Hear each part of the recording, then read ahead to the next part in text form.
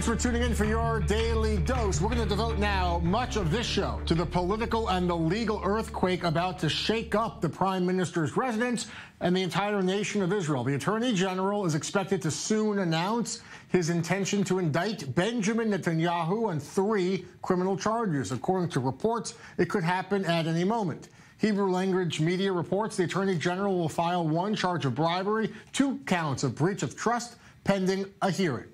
Let's take a quick step back and give you a, refresher on how we arrived at this moment in history. For about 18 months, police investigated Netanyahu on those three separate corruption cases. They interviewed the prime minister more than a dozen times. They interviewed his wife, his son, his extended family, his friends, and his legal team. Police interviewed witnesses from around the world, from Washington to London to Australia. And in December, after nearly two years of investigative work, police closed their cases. They turned them over to the Attorney General with a recommendation for bribery in all three cases. But it's the Attorney General who makes the call, and he, again, reportedly, is ready to file one bribery charge and two lesser charges for breach, of trust. So, what are these three cases? Let's explain them to you as if you have no idea what's about to happen. Case 1000, this is the gifts affair. Police say Netanyahu was bribed by billionaire businessmen friends to advance their personal and their financial interests. Things like tax breaks, help with selling stocks, securing long-term visas. Police say Netanyahu got hundreds of thousands of dollars worth of expensive cigars and champagne in exchange. Reports here that the Attorney General will file a breach of trust charge. The second case, case 2000, police say Netanyahu negotiated with the publisher of a big Israeli paper called Yediot Ahronot to get favorable coverage. In exchange for that good press, Netanyahu agreed to support a new law that would hurt the circulation of Yediot's biggest competitor. Again, here, the Attorney General reportedly is looking at breach of trust. The third case, the big one, case 4000.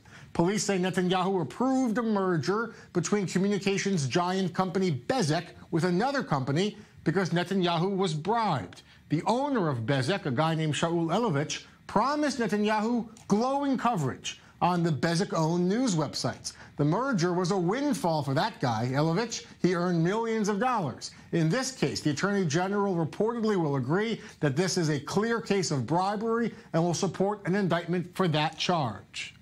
With me now in studio is Haran Feinstein. He is a former Israeli judge, legal uh, expert. Sir, thank you so much for being with us. I want to ask first about this uh, uh, Hail Mary pass in the sports term. Likud is going, the Likud party of Netanyahu is at the High Court. They're asking for this indictment to be, the announcement to be held off for now. Could that work? Could we be seeing a delay of a few hours, a few days, a few months, or, or not at all?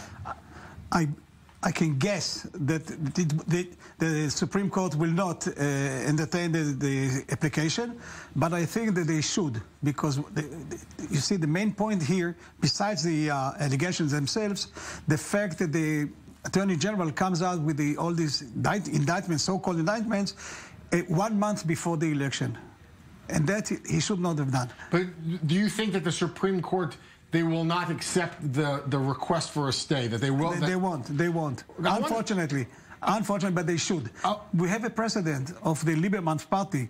Four years ago, they came out with the same scandal uh, exactly four weeks before the election, and it damaged the party completely. You're talking about Avigdor Lieberman here, another former uh, popular politician, lawmaker. He himself faced corruption charges, eventually acquitted, but it hurt his party in the polls. Right, after 17 years, though.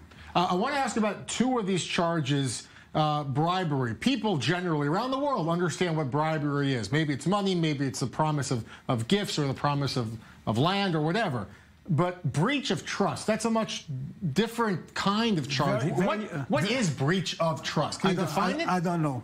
No one knows, right? No That's one knows. The... No one knows. There's no definition. It's actually, uh, you know retroactively by the decision of the judge. But you cannot define breach of uh, uh, trust. But uh, the argument would be that in, in, his capacity, right, as the prime minister, as an elected official, he used his access, his information, his knowledge. Who doesn't? What politician doesn't use his information? While serving as a politician or afterwards making a lot of money? I guess the argument would be legally, right, Judge, that that the Mandelblit, the state prosecutors say he used this access to it hurt it wasn't in the interests of his office or for the state of Israel, but to help personal friends with personal interests that impacted negatively right. Israel. So I'll tell you, the decision of the precedents, which I know, really um, they state that if you really help your friends, that might be a breach of a uh, trust. trust. But it's so vague. You cannot define it. So actually, you know retroactively whether you act according to the law against the law. And that the whole idea is against the whole concept of law, which states that you have to know your legal situation beforehand and during the act. Uh. Now, in this specific case, you know only retroactively, and it's up to the decision of each judge.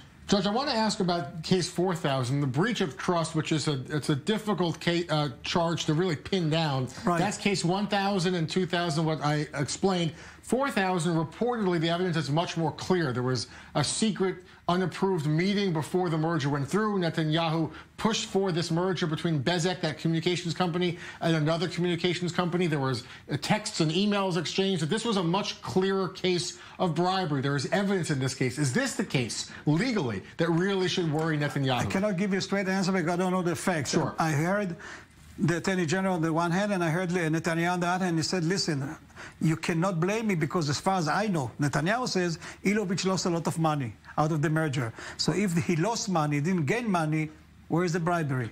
In general, I want to return to something Netanyahu said, Judge, and get your opinion on, on the rule of law versus the importance of an open democracy. Netanyahu used the expression that an uh, a thief, an accused thief, the before the uh, due process can play out, so they cut off his arm, and then they find out he wasn't the thief after all. He's Absolutely. found innocent. You can't replace the arm. Absolutely Does this right. hurt democracy? This is going to be, he won't have the hearing yet, Netanyahu. When the indictment comes in, could be any minute now, but when it comes in, it'll still be an open drama with the election hanging over it. Does it hurt democracy?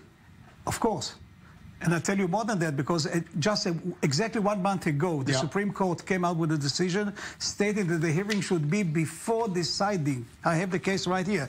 Before the, uh, the issue, uh, no, issuing a writ or indictment, which means what they did, they upside down. They reversed the, the, regular, the normal procedures stated by the Supreme Court. Supreme Court said here, in this, this uh, one, one month ago, they said specifically first hearing and then decision. In this specific case, they have the decision to indict him, and now say, listen, after I indicted you, I want to listen to you. But politically, I mean, Netanyahu had a majority in the government. He was in power. He decided to go to early elections. That's his choice to move the timetable so up. So what? So I mean, the argument would be that Mandelblit, the Attorney General, right? right. He, when he's ready to make his decision, he's not going to hold off. No one's above no, the law. we should hold off until the end of, uh, until the, the elections are over. What he's doing is not only damaging. But when he's ready, he's ready. Why should he hold off? Be because he damages democracy and he go he's going to influence the election. And you have the precedent of Mr. Lieberman. So I'm asking you a question. You probably you don't have an answer. Nobody has. A, why can't he wait until April 11?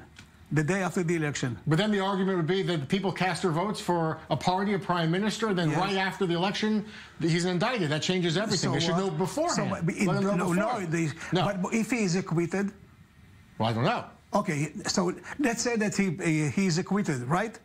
Can you bring back the situation? No, that again, his analogy of the so arm. Where, where's the democracy? Realistically, whether we like it or not, whether you like it or not, if this this everything is subject to a hearing, is that a formality? Can Netanyahu change prosecutors' minds in that hearing later?